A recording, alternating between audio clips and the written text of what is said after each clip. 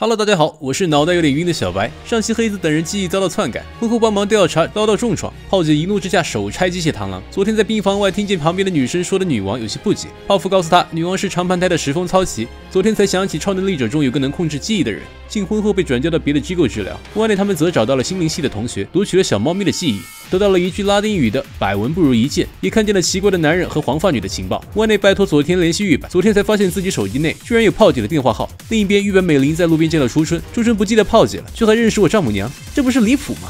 幕后指使马场的警测看去，根据外来人员的吊牌，找到了玉板妈妈，试图用她当做人质。见初春也在，干脆一起绑。昨天找到了黑子，说了婚后的事情，并推测他们可能真的认识炮姐。手握剧本的佐天一下就想到了石峰，他没有联系初春，而是单独和黑子说了这件事，并打算找炮姐问清楚情况，同时告诉他关于黑猫看见的情报。但就在炮姐说出地址，昨天让他不要走动，黑子会过去接他时，警测挟持了初春，要求炮姐挂断电话。炮姐照做，听见警测质问他玉板妹妹藏身何处，听对方口中的意思，说玉板袭击了实验别墅，但炮姐却从没干过这件事情，反而质问警测究竟想干什么。警测称学院都市是一个巨大的实验场，炮姐这种身居高位的人，怎么可能什么都不知道？警测不但挟持了初春，还绑架了他的母亲，还要求炮姐二选一，不然就交出妹妹的情报。炮姐两个都要求。当警测大笑时，炮姐电了一拽木凳下的钢管，顺利将初春救出。下方的警测准备对玉板妈妈下手，却被黑子一轮一砸下，带走了人质。被炮姐击中的警测是替身，他试图袭击黑子，走到炮姐面前，指着他笑了，然后化作一滩液体。警测离开后，根据炮姐的反应，他猜测在别墅实验的目击证人可能被被人篡改了记忆。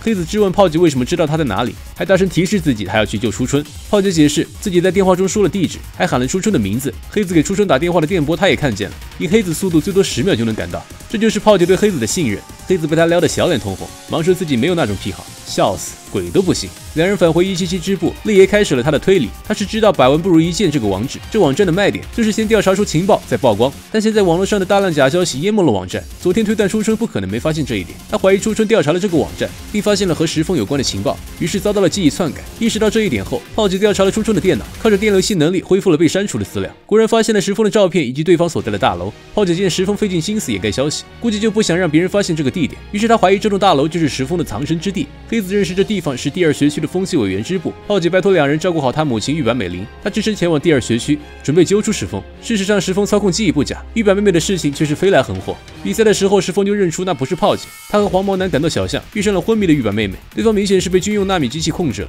石峰出手将妹妹救下。不久前，石峰被人用水滴当摄像头偷拍了自己返回基地的画面。黄毛男放出虚假网页，表示绝对不会让别人发现在哪个网站，结果第二天就惨遭初春打脸。于是石峰上门清除记忆，从而发现了初春和炮姐的关系。为了不让炮姐掺和进来，他才清除黑子等人的记忆。谁知道弄巧成拙，看着杀到面前来的炮姐，石峰表示自己赶时间上车聊。昨天对记忆被消除耿耿于怀，黑子已经开始调查警司的身份，嘴硬心软，称不是在帮炮姐，而是作为风纪委员才调查的。昨天面露慈爱的注视，石峰告诉炮姐，玉版妹妹没事，正在大楼接受治疗。等事情结束，他会把妹妹还给炮姐。炮姐听他解释后，也意识到自己死前遇见的对手和石峰并不是一伙的，他们出于某种原因在寻找玉版妹妹。石峰告诉他，一切的起源还得从炮姐阻止的绝对能力者进化实验说起。石峰在他所属的研究室知道了妹妹们计划破灭，后来他让黄毛男去调查妹妹们的下落，才发现除了他之外，还有别的组织在查玉版妹妹，目的恐怕就是玉版网络。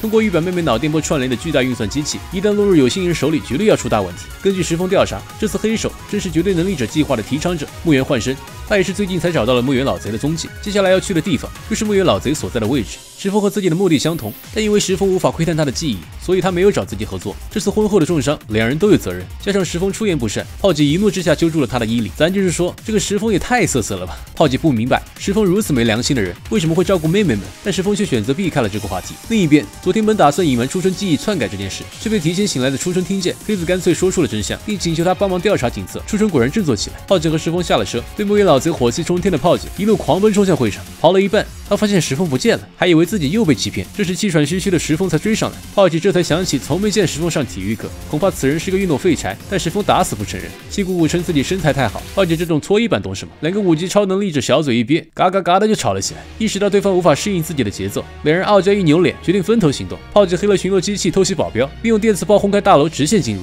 石峰更加嚣张，从正门就进去了。他早篡改了这群佣兵的记忆，轻轻松松走进了内部。另一边，黑子查到了警测看取的学生证明和能力，此人在十四个月前因为恐怖袭袭击未遂被捕，现在却在外界搞事，有可能是从看守所逃了出来。但这样一来，风纪委员是会收到通缉令的。黑子和初春决定去管理中心调取资料，欲把妈妈交给顾法照顾。昨天不是风纪委员，无法进入管理大楼，他干脆在附近溜达起来。见街舞赛跑中的上条当麻在找护身符，考虑护身符对自己来说很重要，他还不认识上条，所以抱歉的离开了。没想到走了一圈后，发现上条还没有放弃，于心不忍之下，昨天将护身符借给了他。拥有消除右手的当麻还特地换成左手去借，两人约好一个小时后在这里见面。到时候当麻将护身符还给佐田。借出护身符的佐田在路边看见了废弃工厂，好奇之下走了进去。管理中心的黑子他们发现警测在资料上登记成死亡，两人觉得这件事不太对劲。这时热爱阴谋论的管理员告诉他们，看守所内时常会有能力优秀的学生失踪，上面得知后也会当成无事发生。同时炮姐和石峰在研究会大楼汇合，石峰收到下属反馈，木野老子已经被抓了。昨天悄悄跑进废弃工厂，本以为是探险，没想到真遇上了秘密基地。他下意识就跟了进去，进门才发现大门需要卡片才能打开，手机信号也被屏蔽。昨天听见有动静，掉头就跑，没想到被神秘女从背后挟持，对方让他不准回头离开这里。昨天答应，